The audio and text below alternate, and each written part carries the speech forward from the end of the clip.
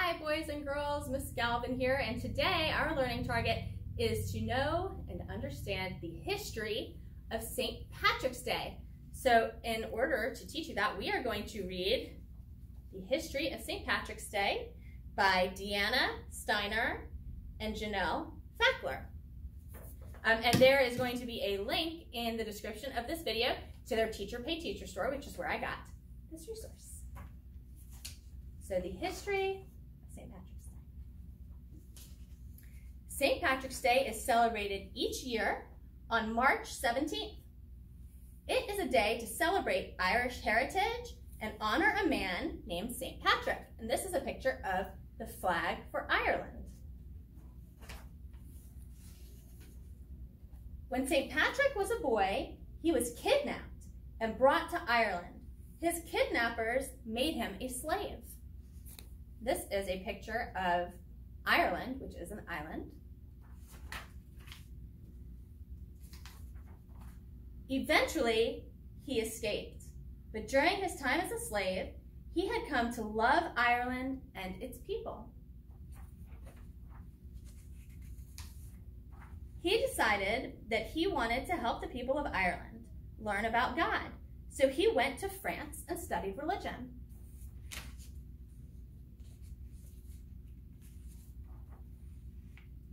He became a priest and then a bishop. He built churches and schools.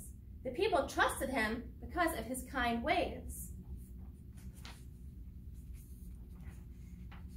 St. Patrick spent the rest of his life helping the people of Ireland. He is still loved and honored by the Irish people. And this is faith, compassion, and kindness. When actually, um, the reason though that uh, the shamrock is known as something that goes with St. Patrick is because St. Patrick used that to teach about religion. Um, for the three clovers, he would say it was the Father, the Son, and the Holy Ghost. So that's actually why a shamrock has something to do with St. Patrick's Day. To celebrate St. Patrick's Day, people all over the world wear green, have parades, decorate with shamrocks, and wish people good luck.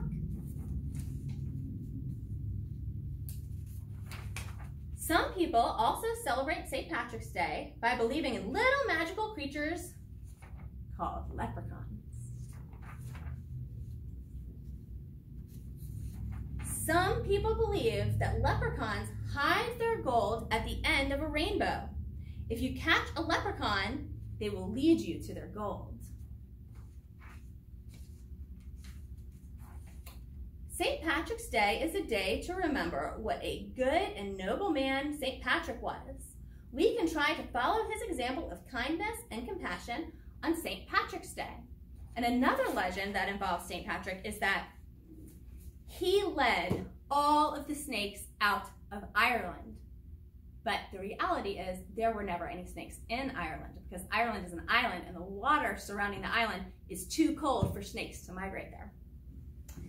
So to follow up, the end of that was talking about leprechauns. So we are going to do a read aloud of How to Catch a Leprechaun, written by Adam Wallace and pictures by Andy Elkerton.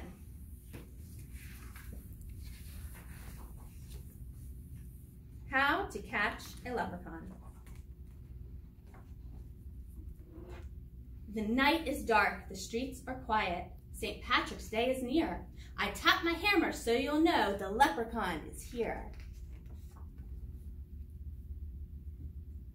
I'll pull out all your laces, put glitter in your hair, and when you walk around, you'll see my gold coins everywhere.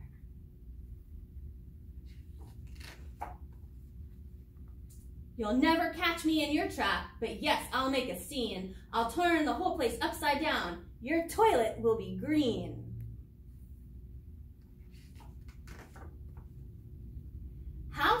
I'm going in.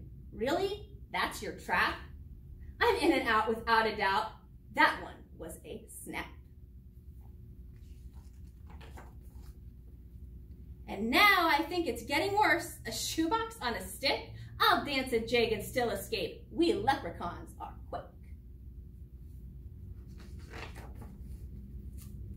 Another house, I fixed your shoes. They really were quite smelly.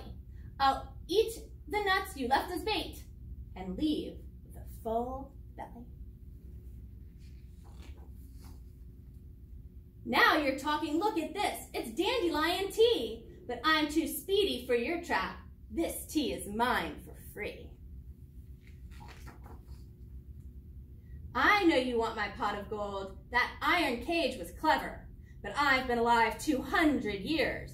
You won't catch me, ever. Ha ha ha ha ha ha ha. Now you're getting fancy, but I'll escape with twinkle toes. It's a fancy pantsy dancy.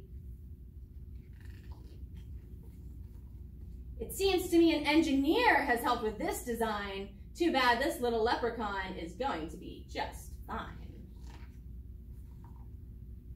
Your entire house is one big trap, from the ceiling to the floor. Nice try indeed, but soon enough, I'll stroll right out. Totally safe place for leprechauns. The leprechaun begone 3000 gave me quite a scare, but without a four-leaf clover, I won't be caught in there. You'll never catch this leprechaun. Impossible, that's a fact. Unless one day, a brilliant child designs the perfect trap. But who child be?